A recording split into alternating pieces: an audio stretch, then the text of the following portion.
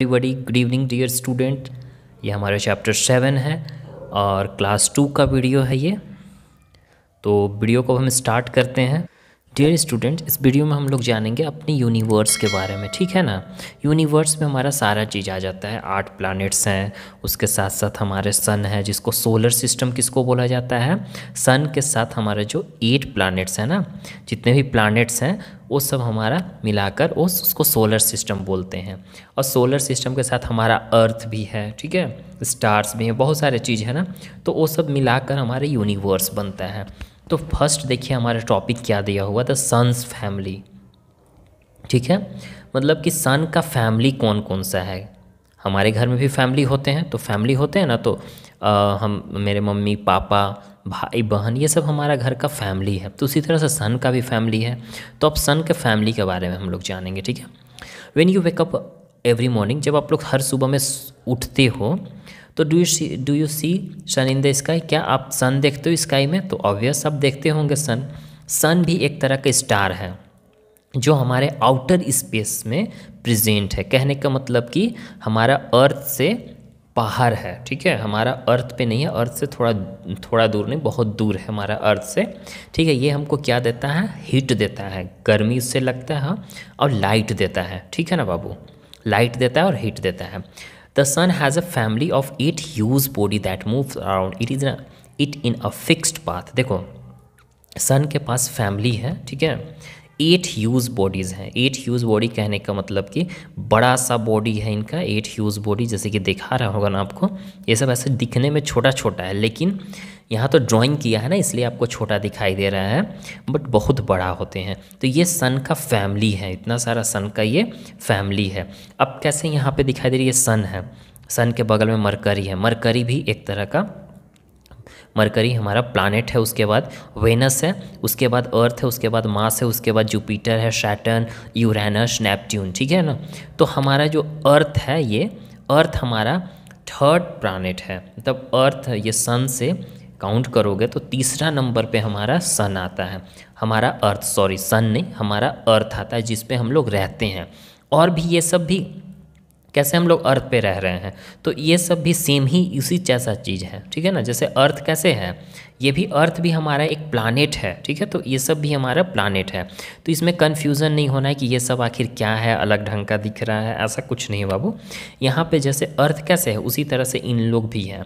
लेकिन सबका अलग अलग फीचर्स है। कहने का मतलब कि अर्थ के अलावा कहीं पर आपको पानी नहीं मिलेगा, ठीक है ना? तो अर्थ एक ऐसा चीज़ है अर्थ पे जहाँ पे हम लोग रह रहे हैं, ये ऐसा प्लानट है जहाँ पे हमको पानी, हवा, पानी, सारा कुछ अवेलेबल होता है ऑक्सीजन वगैरह, जिससे हम लोग ज़िंदा रहते हैं। ठीक है ना?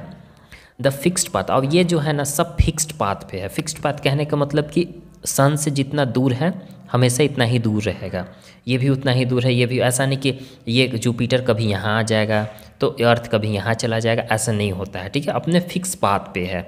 यहीं से ये इसके चारों ओर चक्कर लगाते रहता है, सन के चारों ओर चक्कर लगा, सन अपने जगह पे रहता सन अपने जगह पे रहता है, लेकिन ये सन के चारों ओर ये सब जितने भी प्लैनेट्स हैं ना, सब इसके चक्कर लगाते रहते हैं, घूमते रहते हैं, अपने फिक्स पाथ पे। फिक्स पाथ कहने का मतलब क्या? कि जैसे कि ये लाइनिंग दिखा रहा है ना बाबू, ये लाइनिंग इसका मतलब कि यही पाथ पे ये घूमते हैं। ऐसा नहीं कि यहाँ से ये जुपिटर है, यहाँ से घूम कर यहाँ गया ना तो कुछ देर में इसके पास चला जाएगा, फिर दूर आ जाएगा, ऐसा नहीं होता है। ये जहाँ ऐसे घूम रहा है तो अपने ही पोजिशन पर घूमेगा इधर उधर नहीं जाएगा। गॉट इट अपने पोजिशन पर ही घूमता है। ये बात याद रखोगे कंफ्यूज नहीं करना है, ठीक है? They are mostly round in shape अब ये ज़्यादातर शेप में कैसा होता है? राउंड होते हैं। हमारा अर्थ भी राउंड है। The sun and its family is called the solar system अभी हम जस्ट पता है। सन के साथ और इसका फैमिली जो है सन और ये एट प्लैनेट्स मिलकर क्या बनाते हैं? सोलर सिस्टम इसी को बोलते हैं, ठीक है? तो ये आप फिगर आप अपने ड्राइंग बुक में जब ये चैप्टर स्टार्ट करोगे तो इसको आप बनाओगे, ठीक है? देखिए यहाँ पे। Look at the picture solar system write down the order in which the planets move around the sun अब यहाँ पे पिक्चर को देखना पिक्चर को देखकर आपको यहाँ पे ऑर्डर वाइज लिखना है कि फ़र्स्ट में कौन है तो यहाँ पे ये दे दिया गया हिंट्स आप लोग ईजी वे से कर सकते हो। तो चलिए अब यहाँ देखते हैं यहाँ पे क्या है। The earth on which all of us live जो अर्थ है जिस पे हम लोग सारे लोग रहते हैं, ये भी एक प्लानट है अभी जस्ट बताएँ। यहाँ पे वाटर है, ठीक है? अब ये ब्लू दिखता है आउटर स्पेस से। कहने का मतलब कि जो लोग चाँद पे जाते हैं और वहाँ से अर्थ को देखते हैं ना, अभी हम कैसे चाँद को देखते हैं, गोला छोटा सा दिखाई देता है, लेकिन आप चाँद के पास जाओगे तो ये भी बहुत बड़ा है। अर्थ कैसे है बड़ा? उसी तरह से चाँद भी है। तो जो लोग चाँद पे जाकर अर्थ को देखते हैं तो वहाँ से कैसा अर्थ दिखाई देता है? हमको चाँद वाइट कलर का दिखाई देता है।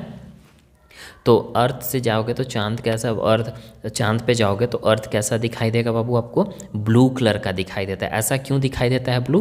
क्योंकि यहाँ पे सबसे ज़्यादा सेवेंटी परसेंट वाटर है अर्थ पे, ठीक है? अब वाटर कैसे, कहने का मतलब क्या कि जो लैंड है ना, जिस पे हम लोग रहते हैं, हम लोग तो पानी में नहीं ना रहते हैं लैंड पे रहते हैं, लेकिन सबसे ज़्यादा लैंड से भी ज़्यादा, ज़मीन से भी ज़्यादा पानी है। जैसे कि समुद्र है बड़ा बड़ा समुद्र है, नदी है छोटे छोटे नदी तालाब वगैरह भी है, महासागर है तो इसके कारण क्या है कि ब्लू दिखाई देता है, ओके? अब यहाँ देखिए, द मून, अब हम लोग मून के बारे में पढ़ेंगे, ठीक है ना? अब हम लोग किस चीज़ के बारे में पढ़ेंगे? मून के बारे में पढ़ेंगे। You must have seen the moon in the sky आप लोग तो मून तो देखे ही होंगे स्काई में। The moon likes a huge ball shining in the sky अब मून कैसे देखो तो बड़ा सा बॉल दिखाई देता है आपको, और साइनिंग टाइप मतलब कि चमकीला, चमकते रहता है। It moves around the earth अब ये जो है ना अर्थ के चारों ओर घूमता है। अर्थ किसके चारों ओर घूमेगा? अर्थ सन के चारों ओर घूमेगा, लेकिन चाँद जो है, चाँद अर्थ के चारों ओर घूमेगा। गॉट इट फिर से अगर नहीं समझ में आएगा तो वीडियो को पीछे कीजिएगा, फिर से देखिएगा। अब देखिए यहाँ पे its moves around the earth the moon shines at the night because the sun light देखो द मून रात में जो चमकता है ना मून के पास अपना लाइट नहीं होता है। कैसे सन दिन में निकलता है तो पूरे चारों तरफ़ ब्राइट कर देता है पूरा लाइट दे देता है हमारा अर्थ पे। लेकिन चाँद का ऐसा कोई सिस्टम नहीं है। चाँद दिन में लिख लेगा तो उससे आपको लाइट नहीं मिलेगा क्योंकि चाँद के पास लाइट नहीं होता है। कैसे अर्थ है? तो अर्थ के पास क्या लाइट है? नहीं ना है। तो आ, आ, उसी तरह से चाँद के पास भी लाइट नहीं होता। अब ये ये हमको पता चला कि चाँद का लाइट तो ऐसे कैसे दिखता है वाइट कलर का? पूरा वाइट कैसे दिखता है? तो ये रीज़न है कि जैसे कि रात में तो सन तो छिप जाता है ठीक है ना? अर्थ मूव सन छिप जाता है। तो जो सन का हल्का फुल्का लाइट इस पर जाता है तो लाइट के कारण क्या होता है कि ये चमकता है। अब कैसे कोई आपके पास कोई चमकीला बॉल है?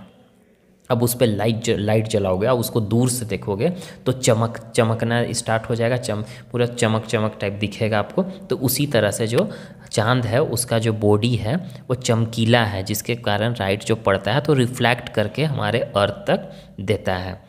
अब कैसे यहाँ पे मिरर है आपका? मिरर में यहाँ पे टोर्च जलाते हो तो यहाँ लाइट जाता है तो जस्ट ऐसे रिफ्लेक्ट करता है तो उसी तरह से सेम मान लो वहाँ पे भी। ठीक है? अगर आप उसको केयरफुली देखते हो, अच्छे से ध्यान से देखते हो seem that the moon change it shape every night इसलिए वहाँ पे मून हमेशा हर एक रात में चेंज होता है सेफ़ होता है ना? देखो, कभी बड़ा तो कुछ दिन बाद ऐसे आपको दिखाई देगा। फिर कुछ दिन बाद और आधा दिखाई देगा, कुछ दिन बाद और आधा। तो अगर उसका अपना लाइट रहता तो क्या ऐसे आधा कटते जाता है? आधा टूट जाता है चाँद, ऐसा नहीं होता है। आधा ऐसे दिखाई देता है, इतना पतला तो क्या चाँद इतना से गायब हो गया, फिर जुड़ जाएगा, ऐसा होता है क्या? नहीं। इसलिए ना, क्योंकि जितना लाइट पड़ेगा ना सन का, उतना ही वो दिखाई देता है। सन का लाइट आधा पड़ेगा तो बहुत दूर ना है तो उतना ही हमको दिखाई देगा। पास नहीं ना है कि पूरा हमको दिखाई देगा? ठीक है? तो आई होप कि एकदम क्लियर हो गया होगा आपको। अब देखो यहाँ पे स्टार्स के बारे में हम लोग पढ़ेंगे। When we look at night in the sky we can see tiny dots of the lights हम लोग जब रात में देखते हैं स्काई में तो हम लोग छोटा छोटा डॉट टाइप दिखाई देता है जो कि हमारा स्टार्स है। इसी को स्टार्स बोलते हैं। स्टार्स बड़ा होता है साइज़ में, बहुत बड़ा होता है साइज़ में, ठीक है ना? लेकिन वो हमको छोटा दिखाई देता है। क्यों? क्योंकि ये हमारे अर्थ से बहुत ज़्यादा दूर है, बहुत ही ज़्यादा दूर है। इसके कारण वो एकदम छोटा छोटा दिखाई देता है अर्थ से। ठीक है ना? We do not see the stars in the sky after sunrise देखो, जब सन निकल जाता है तो उसके बाद आप स्टार को नहीं देख पाते हो। क्यों? क्योंकि सन का लाइट से वो छिप जाता है। क्योंकि सन से भी बहुत ज़्यादा दूर है, इसके चलते उसको छिपा देता है।